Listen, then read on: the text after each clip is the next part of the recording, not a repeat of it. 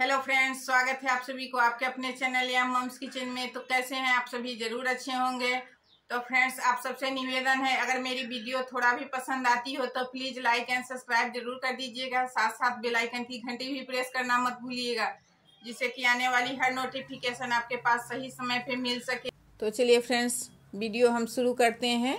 तो फ्रेंड्स, एक बार आप ठंड के समय नाश्ते बना के तैयार कर सकते हैं तो शाम में आप कभी भी इसे खा सकते हैं। पूरे एक महीना के लिए भी स्टोर इसे करके रख सकते हैं। तो चलिए, हम सबसे पहले बड़ा एक बर्तन ले लिए हैं। उसमें हम आधा गेहूँ का आटा और आधा हम मैदा रख लिए हैं। तीन सौ ग्राम जितना वज़न से है। तो उसमें हम थोड़ा सा नमक, आधा चम्मच हम नमक डाल दिए हैं और एक चम्मच हम जवाइन क्रश करके हम इसमें डाल दिए हैं। और थोड़ा सा हम आधा चम्मच कलौजी हम ज़्यादा नहीं डालेंगे, नहीं तो कड़वा लगेगा। तो थोड़ा सा हम कलौजी डाल दिए और इसको हम मिला लेंगे। और इसमें आप चाहे तो रिफाइन ऑयल भी डाल सकते हैं या घी भी डाल सकते हैं। हम रिफाइन ऑयल इसमें डाले हैं।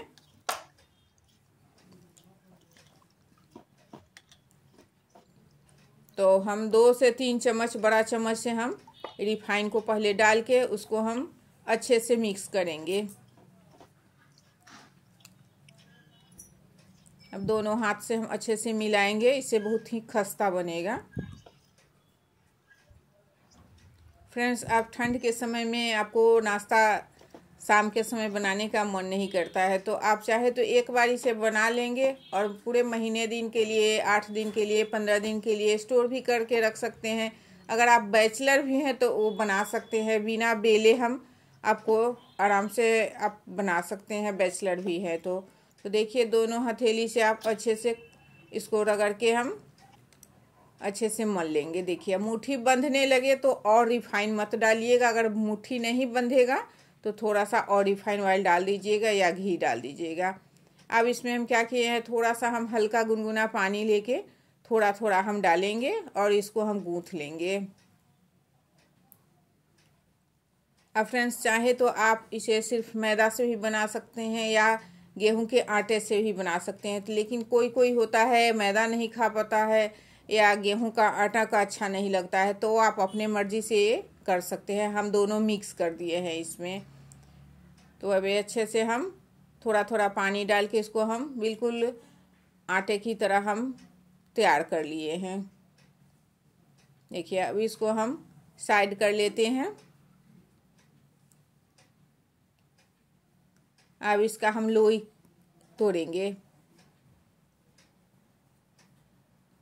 तो फ्रेंड्स, बिना बेले भी हम दिखाएँगे और बेल के भी दिखाएँगे। जिसे बेलने नहीं आता है, वो कैसे आसानी से इसे बेल लेंगे और हम बेल के भी बताएँगे। हम दो तरीका इसमें दिखा रहे हैं तो बेलने तो सभी को आता ही है किसी किसी को अगर नहीं आता है तो वो भी हम आसान तरीका बताएँगे आपको। तो दोनों आप ट्रिक देख लीजिएगा, जो आपको सुविधा हो आप बना सकते हैं। तो एक लोई में हम थोड़ा सा सूखा आटा लगा देंगे और इसको हम बेलेंगे।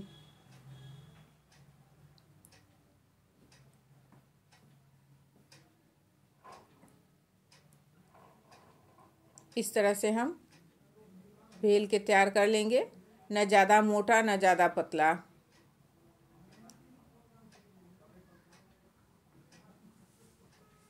देखिए, इस तरह से। बिल्कुल रोटी की तरह।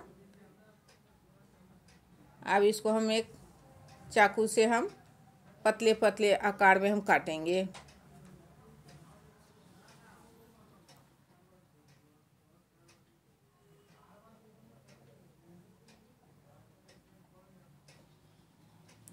इस तरह से हम सारे को कट करके तैयार कर लेंगे। देखिए, इस तरह से बिल्कुल चिपकेगा नहीं, बिल्कुल आराम से निकल जाएगा। अब इसको एक आप प्लेट पे भी आप रख सकते हैं, कोई पेपर डाल के तो बिल्कुल नहीं चिपकेगा। तो इस तरह से हम पेपर पे सब डालते जाएँगे।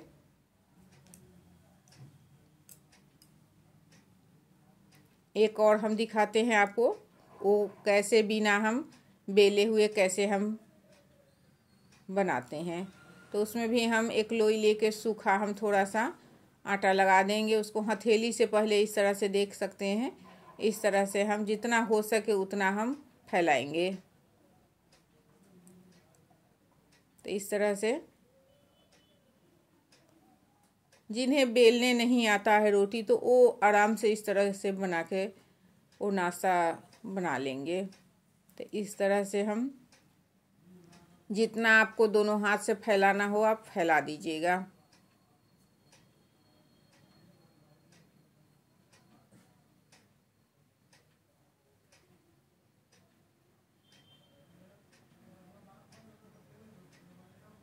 अब इसमें फिर से हम थोड़ा सा हम सूखा आटा लगा देंगे।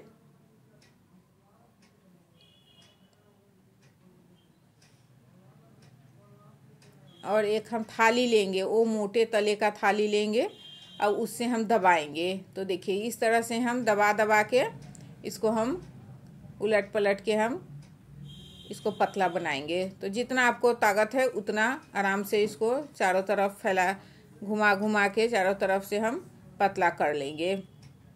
आराम से हो जाता है फ्रेंड्स, थोड़ा सा आप दबाइएगा तो हो जाएगा। अब इसको हम पहले ही जैसे कट किए हैं, उस तरह से हम कट के तैयार कर लेंगे।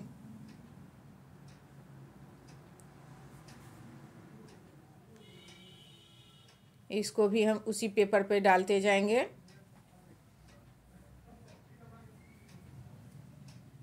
एक और हम बता देते हैं आपको। तो बिना अगर देखिए, इस तरह से हम लोई डाल दिए और इसको करेंगे। आसानी से हो जाता है। एक बार आप कोशिश कीजिएगा, ज़रूर होगा।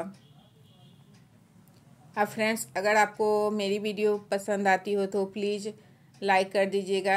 अगर चैनल में अभी तक नए हैं तो सब्सक्राइब करना बिल्कुल मत भूलिएगा।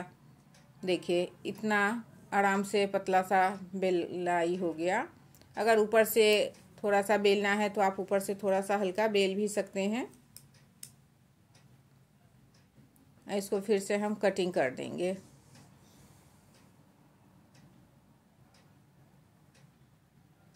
इस तरह से हम कट करके बना लेंगे। तो शाम के समय थोड़ा सा चटपटा खाने का मन भी लगता है चाय के साथ और ठंड के समय बनाने का मन नहीं करता है। तो आप इस तरह से एक बार बनाइए और पूरे हफ़्ते भर बना के खा सकते हैं। तो इस तरह से हम सारे को पेपर पे हम डालते जाएँगे एक बार में ही। अब जब ख़त्म हो जाए, उसके बाद हम गैस पे कढ़ाही गरम करेंगे। कढ़ाई जब अच्छे से गरम हो जाए तो उसमें हम तेल डालेंगे। तो तेल रिफाइन ऑयल हम डाल रहे हैं। अब तेल को भी हम अच्छा से गरम हो जाने देते हैं। जब तेल अच्छा से गरम हो जाए तो उसमें हम एक डाल के चेक कर लेंगे। तो अभी देखिए, अभी तेल गरम नहीं हुआ है। एक डालेंगे, ऊपर तैर के आ जाए तो समझिए हो गया। तो अब तेल जाके गरम हुआ है। तब इसको हम निकाल लेंगे।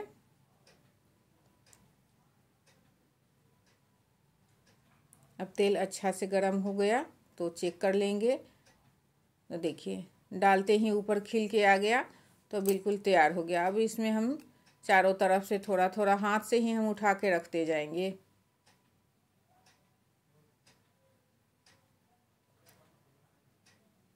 थोड़ा थोड़ा करके हम चारों तरफ़ फैला के हम डालते जाएँगे। अगर चिपका भी पहले से होगा तो तेल में जाते ही अलग अलग खिल के निकल जाएगा।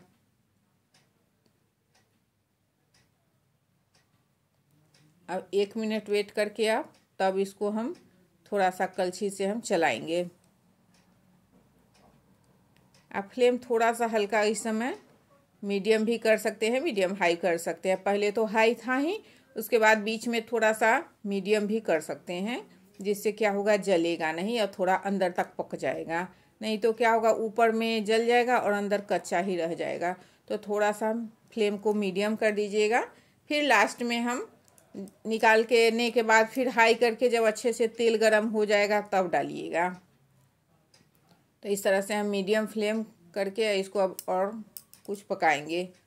थोड़ा देर में, एक से दो मिनट में देखिए, इतना सुंदर कलर जब आ जाए, पूरा गोल्डन ब्राउन हो जाएगा, तब इसको हम निकाल लेंगे।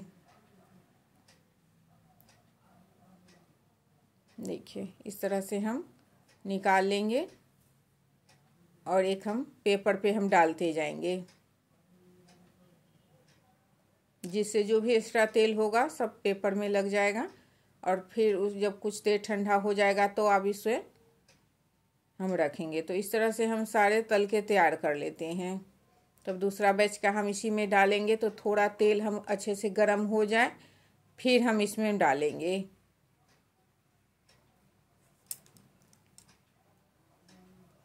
तो इस तरह से हम सारे तैयार कर लिए। तो देखिए, अब पूरे हफ़्ते के लिए आप इस तरह से नाश्ते बना के तैयार कर सकते हैं।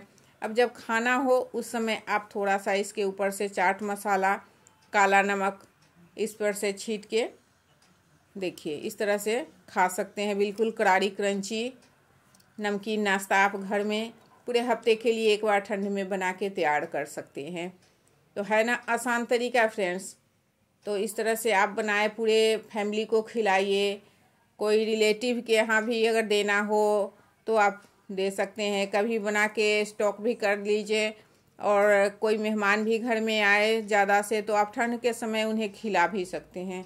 तो फ्रेंड्स, मेरी वीडियो आप लोग को अच्छी लगती हो तो प्लीज़ लाइक, शेयर जितना ज़्यादा से ज़्यादा हो सके कीजिए। ज़्यादा से ज़्यादा सपोर्ट और अपना प्यार हमें दीजिए। तो फिर मिलती हूँ नेक्स्ट वीडियो में, तब तक के लिए थैंक्स फॉर वॉचिंग